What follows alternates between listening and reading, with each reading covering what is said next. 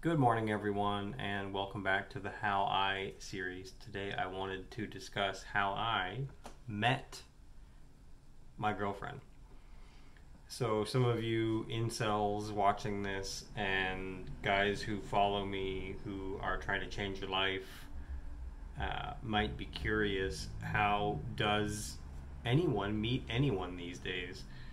Uh, and the question is a good one. And the answer is so I met Desiree in 2015.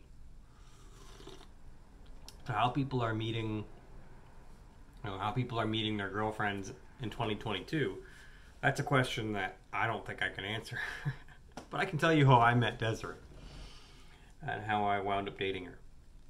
So originally, if you turn the clocks back, I think that uh, I started by deciding and choosing to love myself and take care of myself. I had went vegan as I have told you guys in other videos. I went vegan in 2013, which is a part part of loving yourself. It's not just taking care of the animals, it's also treating your body better because you're not feeding it death. you know, not eating death. eating the energy of uh, abuse and um, fear, all low vibes. If you really tune into the vibratory frequency of your food, you'll see what I'm saying. So start with loving yourself. At some point, I started listening to music specifically by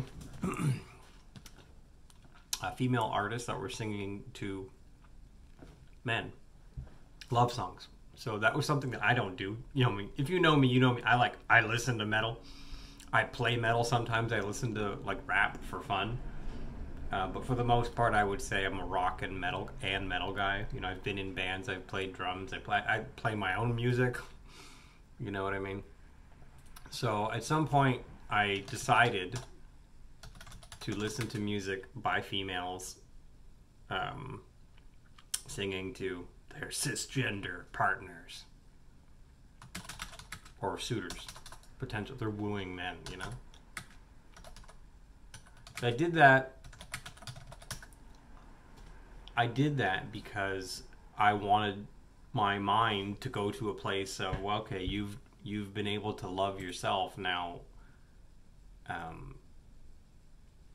I wanted to shift gears to what would it be like for somebody to love me the way that like is actual love because some of you may know I've been in a lot of uh, been in a lot of unhealthy relationships, and uh, if a ship could be unhealthy, I have been in that ship.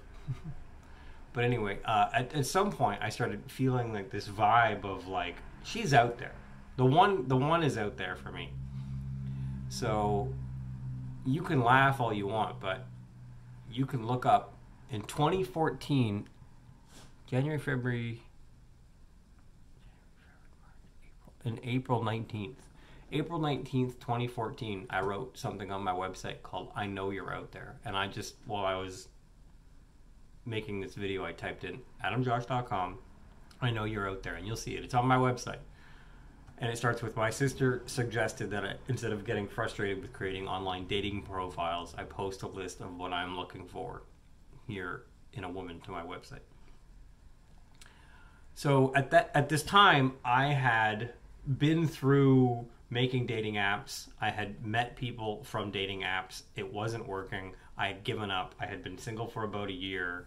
I had decided the rest of my life I'm just going to be asexual. I'm not attracted to anybody and I am just going to live my life as a single man who loves himself. I was at that point for about a year before I met Desiree. But in my mind, I had this feeling, and in my heart, I had this feeling of like, she's got to be out there. So I wrote down on my website the most ridiculous things about the woman who's out there. And this is what I wrote. And tell me, you know, if you follow me on Twitter, you know Desiree. I didn't know her at this point. Didn't even know she existed. Didn't know who Desiree was. This is what I wrote down. I know you're out there. To be frank, if you're the one, you're going to meet my sister, and there's a 98% chance she will see right through you as clear as a window, so we might as well just get that out of the way. Now, without further ado, here's what I'm looking for in a woman. I know it sounds crazy, and honestly, I stopped caring about that a while ago. Number one, you're a vegan, at least a vegetarian. You're a Pisces. You aren't sitting around doing nothing with your life. You like art and music. You have family values. You're ready to handle an OCD workaholic Scorpio who also plays music. You sing and you would love to sing songs with your man. That's me. You'd like to have kids, but no rush on that because we both know it has to be right first. Marriage? Let's see if we like each other first, though, okay? You have a healthy distrust of your government. You like to travel. We're going to be doing a lot of that. You wouldn't mind helping out here and there when needed at a business or two. You love kids. You don't want pets unless they're outside and properly taken care of. You don't smoke, you're not a drug addict, no potheads, pill poppers, or meth addicts need apply, and you aren't a heavy drinker. You don't celebrate Western holidays such as Christmas, Easter, Halloween, or New Year's. I wrote, You're not a heavy drinker. Because at the time I was like, Oh, she drinks, you know, that's fine. Even now. We've been together for, you know, seven years. And, uh, yeah, I've seen her drink twice three times. And I wrote after all that, does this sound like you? Cue laughter. Send an email to adamjosh.com. Or if you're a little more daring, shoot me a text. And I sent a fake, I, I gave a fake number. It doesn't even work anymore, so don't bother trying. So yeah. I wrote what I thought the time was some like crazy thing about the one who was out there. I think in my heart of hearts, I felt like this person could be out there and I'll wait for her. And I figured I would be single and just living my own life until then. So, what wound up happening and how I met Desiree was almost a year after this. I got a message on one of those dating profiles that I had made and forgot about. Like I had given up on the dating people from dating dating apps. So I got a message on OKCupid.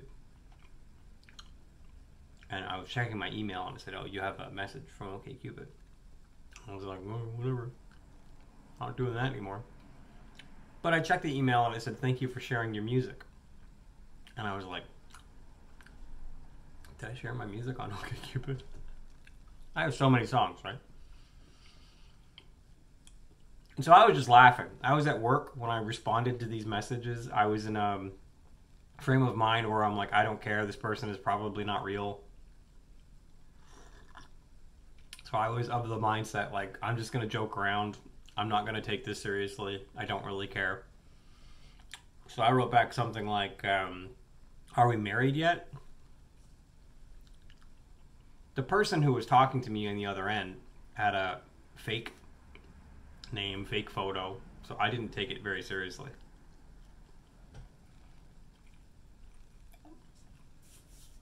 The person writes back, and it, the person wasn't using a real name. The person writes back, Well, you already made me cry. So, I'm, you know, in these three messages back and forth, you can see I don't know whether we're both joking or whether we're both being serious. I don't know. And then I wrote back to that, and we hardly ever see each other.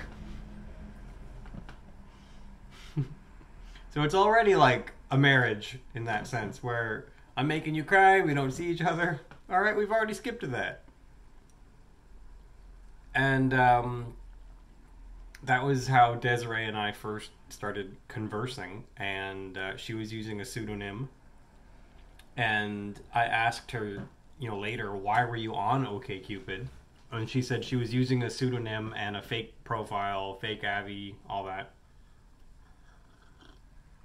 Because she had a friend who was dating some guy who they suspicious um, they were suspicious of, wow they were suspicious of him because he was fooling around on the side and using dating profiles to fool around on his girlfriend, which is totally lame and so they were doing some detective work to see if he would see who he was fooling around with and if he would fool around with random strangers. And they caught him, and just while they were in the middle of this sting operation, uh, she came across my profile and uh, decided to click a couple links and listen to some music. And apparently, my my music tongue punched her in her soul. you know, I guess some of my music, some of my music could do that. I don't think a fresh globe would do that. My song, a fresh globe.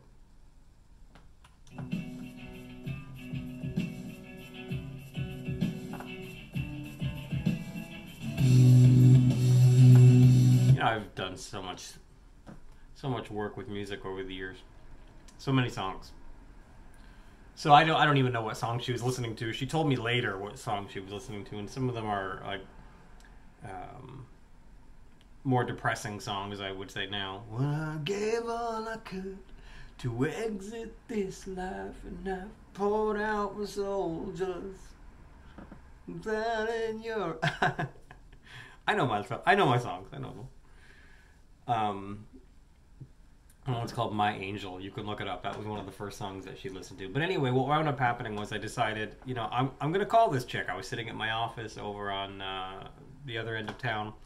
And I said, okay, well, I'll talk to her if she wants to talk to me because she's at least interesting. So we chatted back and forth on the phone. Five minutes into the conversation, I'm thinking about my list. And I'm like, are you a vegan?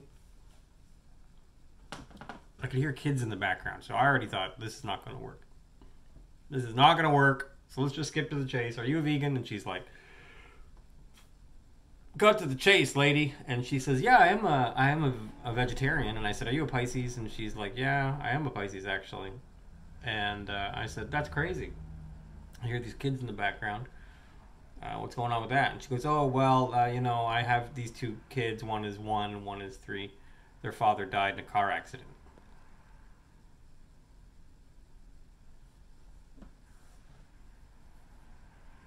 Go on.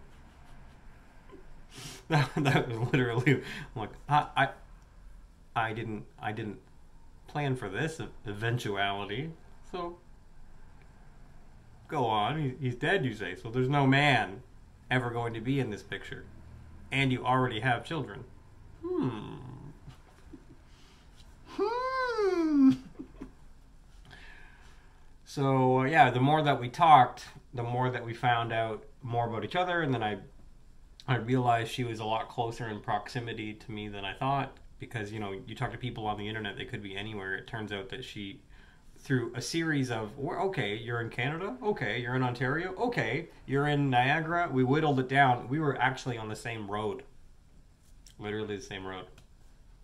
We were literally on the same road. I kid you not. I was on this side she was on that side. I could walk to her place in five minutes and we never met. We just were strangers crossing in the night. So then at one point I went to her place and uh, yeah, we chatted for a while and we became friends. And I was friends with her for many months. I didn't try to jump into her pants. In fact, I didn't. I kept telling her this isn't going to work. I just want you to know I'm not going to be a father to these kids, and I didn't want Desiree to think that, you know, you found this man who's a business manager who's going to take care of you and be your sugar daddy. I didn't want her to think like that because uh, that is not true to who I am, and that is not the case. I am I'm I am a sugar daddy now for sure. I am a, a daddy of sugar, but that's not who I am. And if I have, a, if you know me, you know that girls who try to live off of me exclusively, uh, that doesn't work with me. And I, I, like I wrote in the in the third point here, you aren't sitting around doing nothing with your life. That irritates me when people just like loaf around because I grew up with parents who are on welfare. My mom has never worked. Uh, my biological mom has never worked. So it, it irritates me when people sit around and do nothing with their life. So it would not be cool with me to just support people endlessly that do nothing and are not productive. That would bug me. Maybe when I'm 70, maybe when I'm retired, I don't know. I'll feel differently, but I still feel the same but that's how I met Desiree. We were friends for months, maybe maybe six months before we ever crossed the line into this might be more than a friendship, and then uh, we crossed those lines consensually and uh, in in full adult glory, and we've been together ever since. So Um, we've traveled, we've done all the things that I wrote about in here, and we are still doing amazing things. Bought a house together, raising these kids who are 12 and 9 now. So that's how I met Desiree. I hope that you can meet a life partner in the person of your dreams as well. Take care. Follow me on Twitter. Have a great day.